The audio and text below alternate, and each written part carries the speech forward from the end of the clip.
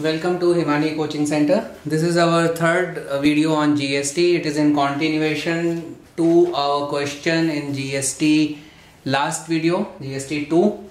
So, in that uh, we were discussing about three dealers A, B and C where A sells goods and services to B for 500 rupees and then B sells the same goods and service to trader C at a profit of 200 rupees.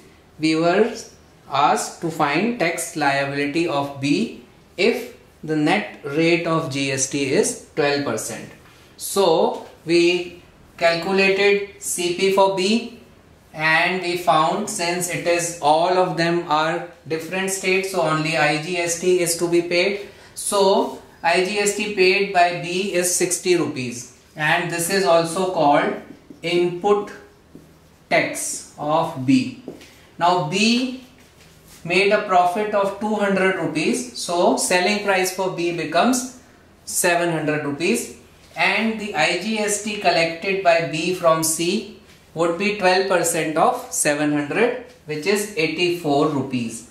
This is called output tax. Now the tax liability would be output tax minus input tax. So 84 minus 60 rupees which is 24 rupees. Okay?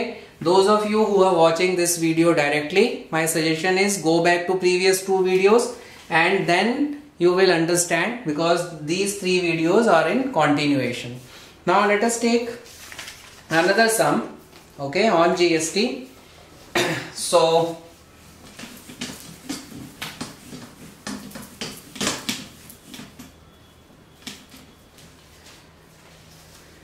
Now I am moving to exercise 1b. I am using the same book Concise Mathematics 2020 edition. Okay and I am now looking at question 2 exercise 1b. It says goods services are sold from Agra state is UP to Kanpur again state is UP for 20,000 rupees and then from Kanpur to Jaipur which is in Rajasthan if the rate of GST is 18% and the profit made at Kanpur is 5000 rupees, find the net GST payable by the dealer at Kanpur. And second part is cost of goods services at Jaipur. Okay. Now what is happening in the first part a dealer in Kanpur is selling to another dealer in Kanpur.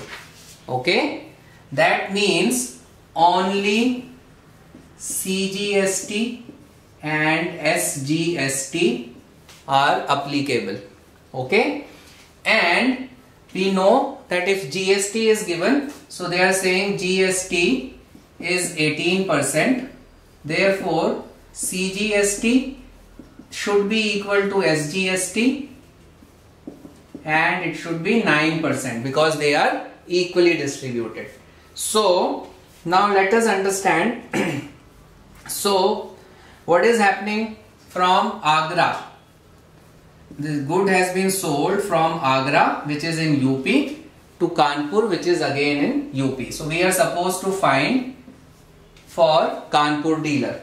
Now in the first part let us understand CP for Kanpur dealer is 20,000 rupees. Okay. And GST is 18%. So, dealer at Kanpur will pay CGST of 9% of 20,000. Yeah. And if you calculate this, it would be rupees 1800. Similarly, SGST would be 9% of again 20,000 which is again going to be 1800 rupees. So what is the input tax paid by Kanpur dealer? It is rupees 3600. Okay. Now let us go to second part when the dealer in Kanpur sells the good or service to a dealer in Jaipur. Now the state has changed. So obviously only IGST would be paid. Now, so and the profit which the Kanpur dealer is making is 5000 rupee. That means SP of Kanpur dealer is 25,000 rupees. Okay. His cost price was 20,000, 5,000 profit. I am adding it. Now, what is the tax which this dealer will collect from the dealer in Jaipur? So, he is going to collect 18% of 25,000 under IGST because in interstate transfer only IGST is applicable. So you have your 18 by 100 into 25,000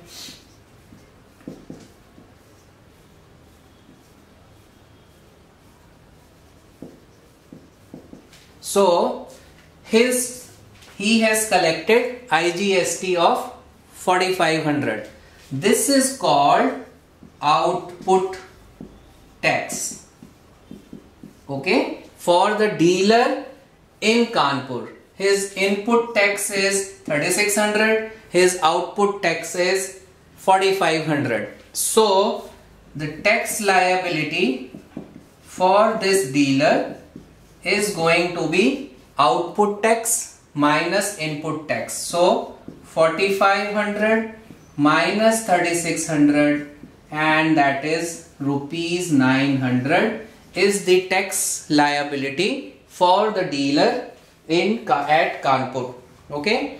Now the second part of the question is the cost of goods and services at Jaipur. Understand for the Jaipur guy his cost price is 25,000 and he has paid uh, GST of 4500 so the bill amount for Jaipur dealer would be 25,000 plus 4,500 which is rupees 29,500 okay?